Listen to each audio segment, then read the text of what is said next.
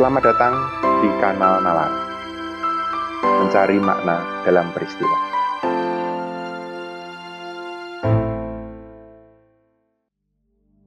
Saudara-saudara, kita akan berbicara dan membahas mengenai kebijakan publik hari ini. Kita akan membicarakan apa itu kebijakan publik, bagaimana ia dibuat, dan apa dampak kebijakan publik tersebut. Satu hal paling penting yang harus kita ingat ketika kita membicarakan kebijakan publik adalah bahwa kebijakan publik merupakan pilihan pemerintah untuk melakukan atau tidak melakukan sesuatu.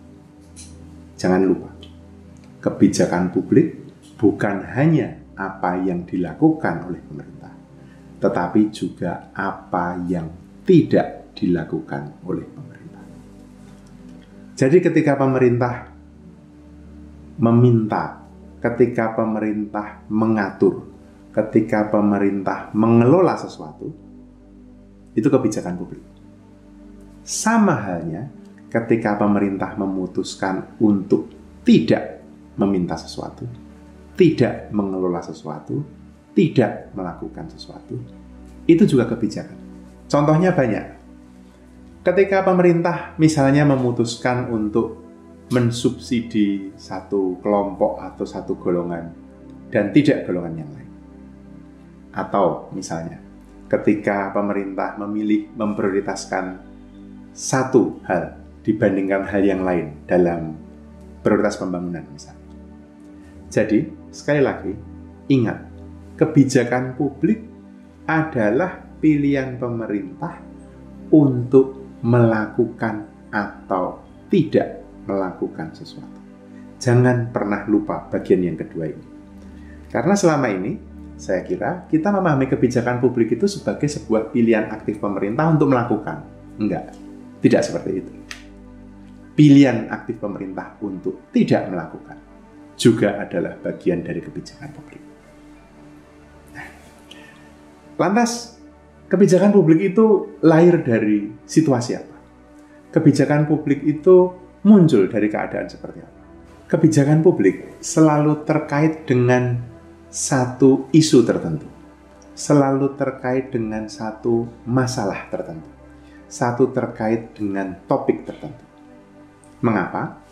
Karena tujuan kebijakan publik adalah menanggapi persoalan atau isu tersebut.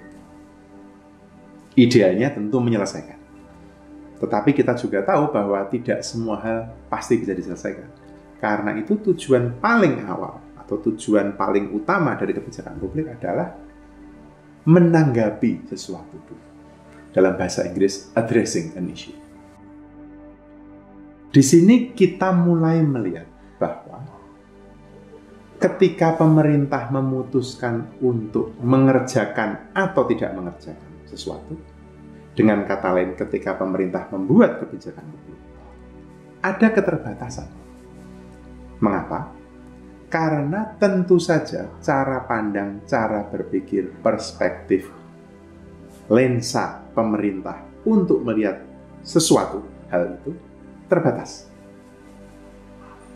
Karena itu, kita mesti sadar bahwa tidak mungkin pemerintah menyelesaikan semuanya.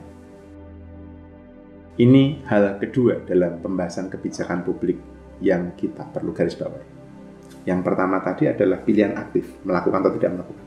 Yang kedua, dalam pilihan ini, pemerintah punya keterbatasan dunia di mana kita hidup makin kompleks. Masalahnya makin beragam, makin ruwet. Bencana saja tidak hanya soal alam, bencana non alam juga banyak. Problem pembangunan bermacam-macam. Dalam dunia yang makin kompleks ini, makin tidak realistis kalau kita mengharapkan pemerintah sendirian yang memikirkan itu. Nggak mungkin. Persoalan yang terjadi di dunia swasta, di dunia usaha, detailnya yang paham ya dunia usaha. Persoalan yang terjadi di masyarakat adat, persoalan yang terjadi di komunitas, yang paham ya teman-teman aktivis di sana. Demikian juga di perburuan, di media, di penelitian.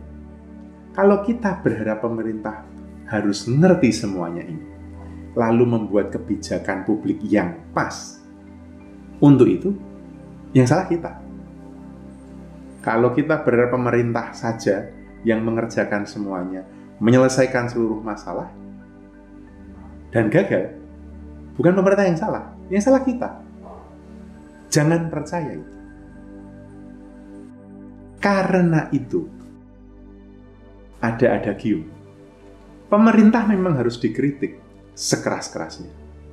Tapi, ia juga harus dibantu sekuat-kuat. Dan kita bisa membantu dalam proses pemerintah membuat kebijakan publik. Bagaimana kebijakan publik dibuat? Tentu ada banyak uh, tahapan, tentu prosesnya tidak sederhana. Karena perlu mendapatkan masukan dari berbagai pihak, pemerintah harus tahu masalahnya apa. Tapi, seperti tadi saya sampaikan, bahwa karena pemerintah itu kacamata pandangnya terbatas, karena horizonnya terbatas, yang dilihat terbatas, maka perlu masukan dari pihak-pihak non-pemerintah dalam pembuatan kebijakan publik. Di sini saya ingin menggarisbawahi satu hal yang menjadi kunci pembuatan kebijakan publik, yaitu bukti atau istilah bakunya evidence. Jadi kebijakan yang berbasis bukti, evidence-based policy, adalah satu norma yang boleh dibilang diadopsi, diambil, dilakukan oleh hampir seluruh pemerintah di muka bumi ini dalam membuat kebijakan. Salah satu kriteria kebijakan yang baik adalah ketika kebijakan itu berbasis pada bukti. Meskipun tentu kita tahu bahwa proses pembuatan kebijakan bukanlah proses penyiapan bukti itu sendiri. Karena yang disebut bukti dalam pembuatan kebijakan. Bukti itu muncul dari riset. Bukti itu muncul dari sebuah olah gagasan, olah pemikiran, olah intelektual. Dan riset lahir dari momen intelektual itu. Sementara kebijakan, momennya selalu politis diskusi dengan kementerian, diskusi dengan DPR, menentukan berapa anggaran, menentukan apa yang harus dibangun. Dalam rapat-rapat kebijakan tentang kemiskinan misalnya, tidak jarang rapatnya di hotel bintang 5. Kebijakan sering dibuat, rapat formalnya ada di ruang rapat, tetapi kesepakatan sudah dibuat di lapangan golf mungkin, sambil makan, itu realitas. Jadi, sekarang kita bisa paham. Ini momen intelektual. Menghasilkan riset, menghasilkan bukti. Ini momen politis, menghasilkan kebijakan. Contoh, misalnya rokok. Kita tahu risetnya, berapa banyak yang bisa diproduksi, berapa petani hidupnya tergantung dari tembakau berapa pemasukan negara dari cukai rokok, tapi juga berapa tanggungan negara ketika BPJS harus membayari penyakit-penyakit akibat merokok. Ini momen intelektual. Kebijakannya, momen intelektual ini memberi informasi. Bahasa kerennya, informing the process. Tetapi proses pembuatan kebijakannya politis saya ambil satu contoh. Yang jelas, sampai sekarang, pemerintah Indonesia belum meratifikasi FCTC. Konvensi Internasional mengenai pengendalian tembakau. Keputusan untuk tidak meratifikasi ini adalah kebijakan publik. Ya kan? Nah, saya mau tunjukkan bahwa riset dan kebijakan tidak selalu nyambung. Ada jarak antara riset dan kebijakan. Kebijakan memang adalah domain politis. Dia bukan domain epistemik.